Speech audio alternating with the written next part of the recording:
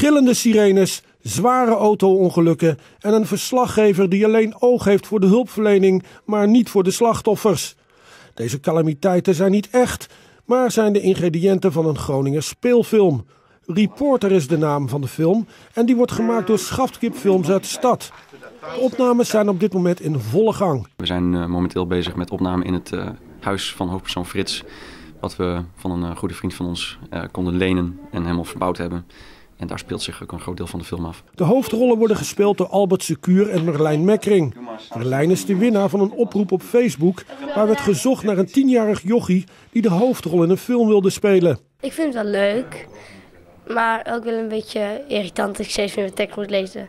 Maar ik vind het ook weer leuk, want daar leer ik ook heel veel van. De film komt mede tot stand door medewerking van de brandweer Groningen en de ambulance dienst uit de stad. Een derde van de film bestaat wel uit scènes waar de brandweer in aanwezig is. En als we dat met figuranten en... Nee, het was onmogelijk geweest, want we hadden dat materieel natuurlijk nooit kunnen, kunnen krijgen of huren. Of, uh... Dus zonder brandweer uh, was deze film niet tot stand gekomen. Nee. Het is hard werken om de film in twee maanden op te nemen.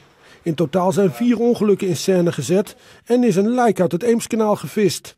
De Groninger Albert Secuur, die de rol van Frits speelt, is helemaal in zijn element. We hebben uh, iets van tien dagen net uh, in de, met de brandweer gefilmd. Dus uh, ja, tien dagen op de kazerne daar, meerijden op de wagens en uitdrukken. En ja, een beetje meeleven met die, met, die, met, met die brandweerlui. Dus dat was wel heel enerverend en leuk om mee te maken. Als alles volgens plan verloopt, gaat Reporter begin 2014 in première.